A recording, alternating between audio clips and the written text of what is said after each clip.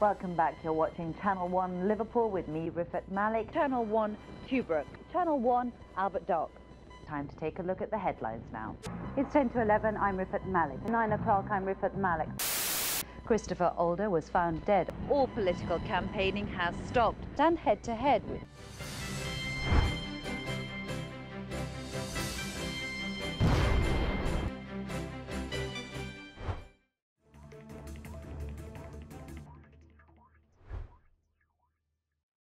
Thank you again, Mr. Derrick Holder, for joining us today on the Muslim Viewpoint. Uh, we're glad to have you.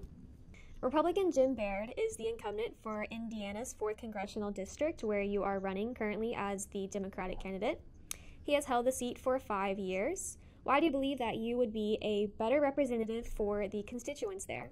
I believe because I have the experience that most of the people that live in District 4 have growing up impoverished and going into the Marine Corps, pulling myself up by the bootstraps and first person in my family to go to college, then becoming a paralegal and working for the state and federal government. I have worked my entire life for the public sector, and this was just a natural progression of that because I truly care about everybody who lives in District 4. And it just seems like Representative Baird is only caring about big ag and big pharma right now. And that's who's mainly bankrolling him right now. Well, Indiana has a population of just around 45,000, not the largest, but still a significant amount. Um, how would you address the needs of this community, such as religious freedoms and protection from discrimination? I believe that First Amendment is paramount with freedom of religion. I mean, there is a lot of anti Semitism out there, a lot of anti Hindu, a lot of anti Muslim rhetoric going around right now. And we need to squash that. I mean, we're all Americans. We're all trying to make a better life for us and our own children. And there's no reason for religion to come into it. I mean, what you worship and what I worship shouldn't matter. What we believe in side of ourselves that matters. And so, I mean, religious freedoms should be a moot point because it's in our Constitution, but it's not. And we need to knock it off. Right. And so, what are your thoughts on, um, you know, the recent blurring between the line of separation of church and state, um, specifically when it comes to more Christian ideas um, being pushed into legislation?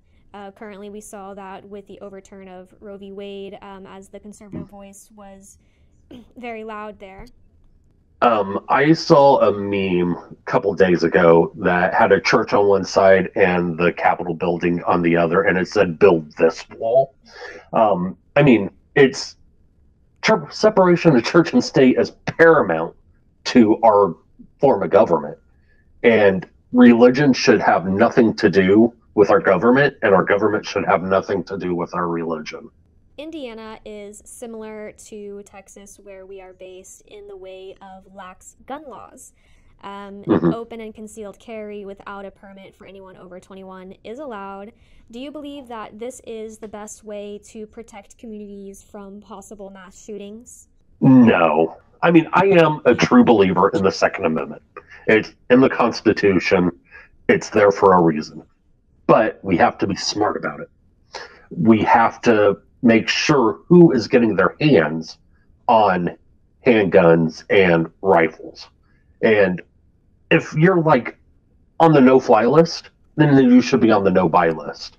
Um, we should have red flag laws. We should stop the um, allowance of buying a gun in Indiana and taking it across state lines into Chicago because our two Illinois and Indiana are so linked, especially up in the region, in the Chicago region, that they affect each other. And that is actually making its way to Indianapolis because Indianapolis is getting a larger crime rate. I mean, we just need to be smarter about our gun laws and we need to make sure who's actually purchasing the weapons do not have really bad mental issues. Right. Yeah. And then you've kind of already touched on it, but can you just maybe further elaborate on what kind of specific legislation you would support um, concerning gun reform? Uh, definitely uh, red flag laws. Also, getting rid of bump stocks, making sure that fully automatic weapons are not available for sale. Um, there's no reason somebody needs an AK 47. There's no reason somebody needs an AR 15. If the normal is, oh, it's for hunting, you seriously need an AK 47 to go hunt? it's like, come on. Um, I mean, yes, they are fun to shoot, but no, uh, you don't need it in public. Um, it just turns into bad situations. And abortion is essentially banned in Indiana, with exceptions for cases of rape, incest, um, up to 10 weeks, or if the mother's life is in danger. Um, do you think this ban is appropriate for women No. and families who need this kind of health care outside of these two categories? And, um, you know, how, how would you address this? Um, absolutely not. Um, we need to codify Roe v. Wade in Congress. Um, it is a woman's choice. Um, we need to take the politics out of the doctor's office. And I mean, there's women out there that don't know they're pregnant at 10 weeks.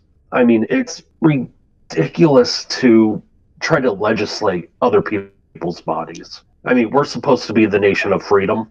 We're slowly becoming a totalitarian state. Yeah, and then uh, so I just wanted to move on to more recent nationwide protests.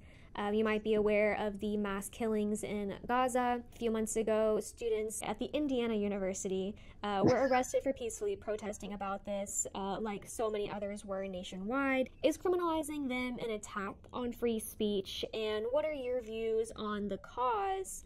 Um, that essentially humanitarian or the essentially humanitarian cause they feel so passionate about. I mean, I love my IU. I'm a proud graduate of Indiana University, and it shames me that this happened down in Bloomington. I mean, as long as it is peaceful, free speech, we are bound to allow it because we have freedom of speech, as long as it is peaceable. And what happened in Bloomington was peaceable. It was a peaceable protest. And the way that the school handled it was horrible.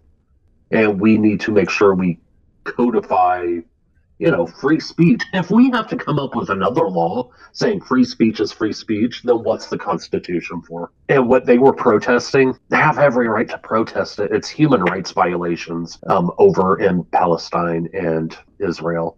I mean, I'm a proud Jewish person, but what is going on in Israel needs to stop. It is Netanyahu is, I mean, he's a war hawk. He's always been a war hawk. We need to make sure that war crimes stop, humanitarian efforts are allowed into Gaza and the West Bank um, to help the Palestinians who are being assaulted over there and overrun. Yeah, and then can I just follow up? Um, since you mentioned that you are Jewish, um, have you faced any backlash, you know, being anti Netanyahu, um, anti Israeli government, either in your campaign or just personally?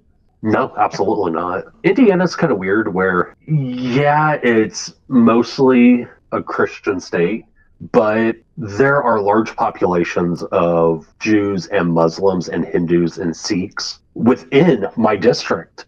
Um, in Hendricks County is one of the largest populations of Sikhs and Muslims in Indiana. And I mean, it's at least in my district where the cities are, it's not an issue. Um, don't talk much religion out in the rural areas, but I haven't had any issue. All right. Thank you again, Mr. Holder, for joining us today. I don't have any further questions for you. Um, so, just, yeah, thank you so much.